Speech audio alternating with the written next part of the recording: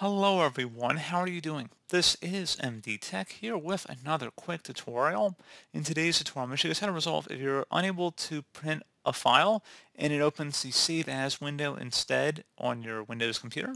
So this should hopefully be a pretty straightforward process here guys, and without further ado, let's go ahead and jump straight into it.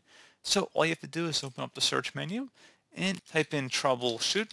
Best result, come back with troubleshoot settings. Go ahead and open that up select other troubleshooters on the right side here. And then you want to go and underneath most frequent, you want to select printer and then select the run button that corresponds to it. And then give it a moment here to run. And if it gives any suggestions or feedback, I recommend following along with them here. Something else I recommend trying here as well would be to actually restart both your computer and the printer.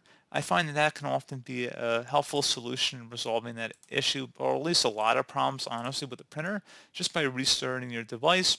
You know, so that seems to clear some of the problems you may be having. Clears the printer queue, and if there's any other issues such as that. So that's something else I'd recommend trying. And then you can also go ahead and close out of here.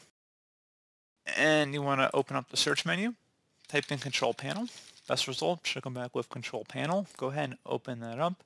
Set your view by to category view and you want to select underneath hardware and sound, view devices and printers. Go ahead and select the printer you want to set as your default printer here guys. You might be selecting the PDF one by default like save as PDF for Microsoft Print to PDF. You want to go ahead and actually select the printer you want to set as your default printer which is probably why you're having that problem frankly. You're going to go ahead and right click on the printer and you're going to select set as default printer again for the printer you want to set as default and you will select OK and that's all you have to do. There'll be a little green check mark next to it so you'll know that it is currently the default printer.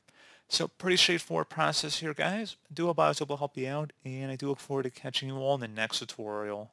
Goodbye.